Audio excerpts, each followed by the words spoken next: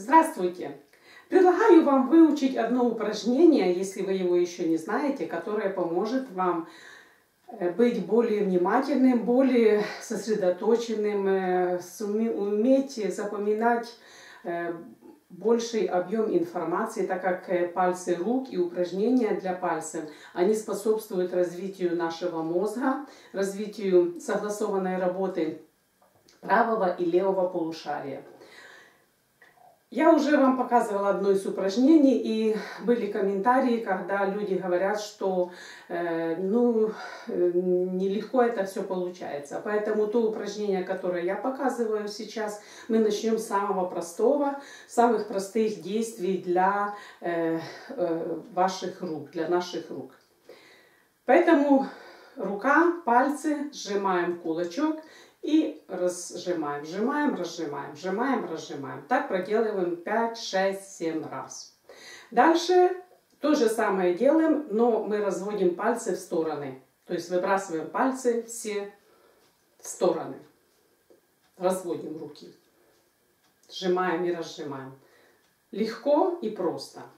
Дальше мы делаем такое же упражнение, только одна рука, правая рука будет выбрасывать пальцы разжатые, а вторая будет сжатые в, все вместе. Делаем опять несколько таких приемов. 5-6 раз. Получается. Получилось это, меняем пальцы, меняем руки. То же самое делаем Получается? Получается. Теперь нам нужно это же делать попеременно. Сжали.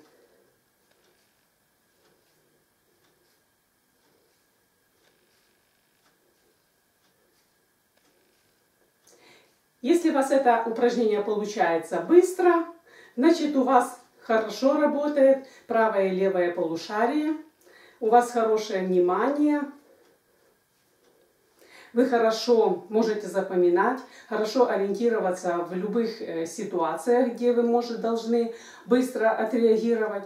Ну и самое главное, что если у вас есть дети, научите их делать эти упражнения, потому что сейчас дети очень говорят, гиперактивные, они очень непосидящие, потому что очень много информации вокруг.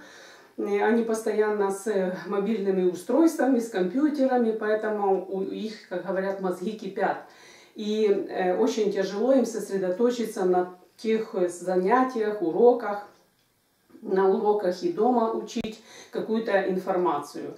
Поэтому э, выучите это упражнение с детьми. А для того, чтобы его выучить с детьми, я думаю, что лучше всего это ваш взрослый пример. И если вы научитесь сами это делать, это будет очень хорошо для того, чтобы вместе с детьми это выучить.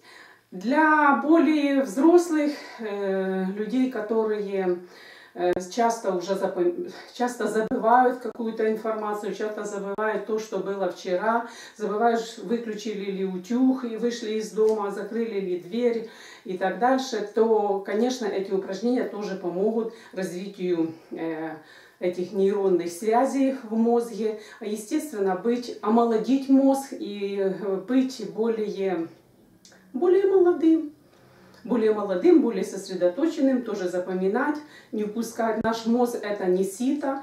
И здесь надо не забывать, что различная информация, которая заходит, она туда оседает. Поэтому Поэтому все это фильтруйте.